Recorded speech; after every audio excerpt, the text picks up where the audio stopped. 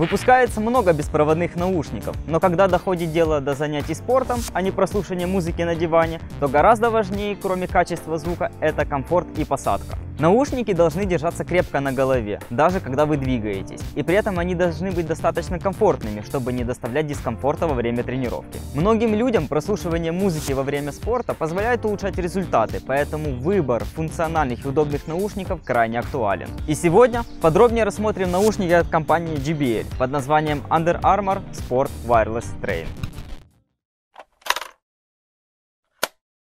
Приятно видеть, когда производитель наушников приходит в компанию, которая имеет прямое отношение к спорту.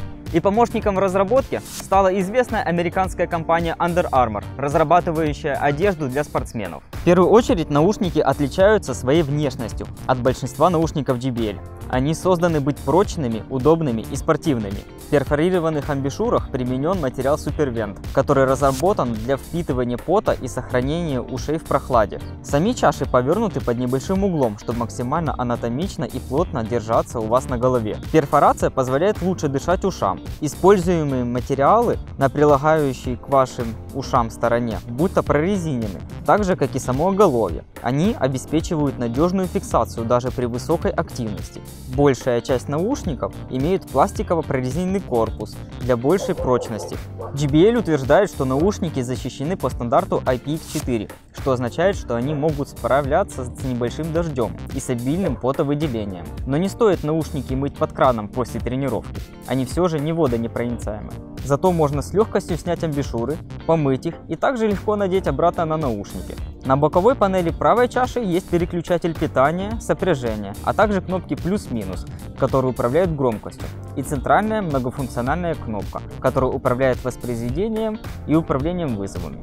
Также, если зажать на несколько секунд кнопку громкости, вы услышите звуковой сигнал, после чего переключится песня вперед или назад. Встроенный массив из трех микрофонов позволяет использовать режим Talk True. Нажав на логотип Under Armour, на внешней панели правого уха и громкость музыки затухает практически в ноль. При этом вы слышите все окружение, не снимая наушники. Уверен, что каждый найдет применение данной функции. Для разговоров по наушникам микрофон обеспечивает среднюю разборчивость. Иногда могут проскакивать Bluetooth артефакты, но для того, чтобы не тянуться в карман или рюкзак за телефоном, вполне подходящее качество для того, чтобы совершить разговор. На нижней части правого наушника под заглушкой спрятали разъем 2,5 мм, в который можно подключить комплектный кабель с гарнитурой. Это на тот случай, если наушники разрядились или если тренировка не сильно активна и вам провод не помешает при подключении к плееру. Кстати, при проводном подключении уровень громкости уже ограничен мощностью плеера. Шире сцена, больше звуковое давление и сочнее бас по сравнению с Bluetooth подключением. Видимо, отсутствие aptX HD сказывается. Но при занятии спортом качество Bluetooth передачи хватает с головой. На левом же наушнике, также под заглушкой, расположился разъем microUSB для зарядки. Конечно, продумали и вопрос транспортировки, поскольку наушники, как и ваши кроссовки, часть спортивной формы, вы их наверняка будете носить в сумке или в рюкзаке. И для их сохранности производитель положил в комплект очень прочный и стильный чехол с вентиляционными отверстиями. Жесткости чехла вполне хватает, чтобы носить наушники с остальной одеждой и не переживать за сохранность. Для поддержки ритма и драйва во время тренировки низкие частоты немного усилены, они относительно плотные. И одновременно наушники не созданы для фанатов экстра-баса. Я бы сказал, что бас тут весьма сфокусированный, мощный и энергичный. При этом все остальные звуки не превращаются в кашу, как у многих спортивных наушников. Подача и ритм как раз на грани, чтобы не уйти в грязный утомляющий бас и одновременно не быть скучным.